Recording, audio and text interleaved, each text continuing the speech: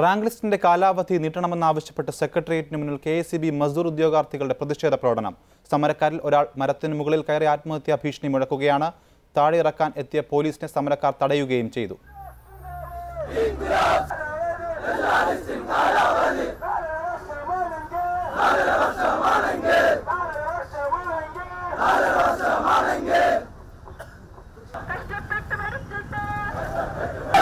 സർക്കാരിൽ നിന്നും അനുകൂല തീരുമാനമുണ്ടാകും വരെ മരത്തിൽ നിന്ന് താഴെ ഇറങ്ങില്ലെന്ന് ഉദ്യോഗാർത്ഥി പറഞ്ഞു.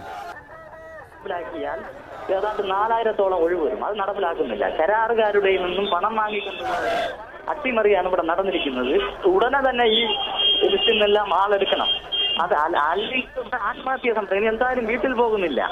ആത്മഹത്യ ചെയ്യാനാണ് ഇവിടെ തീരുമാനിച്ചിരിക്കുന്നത്.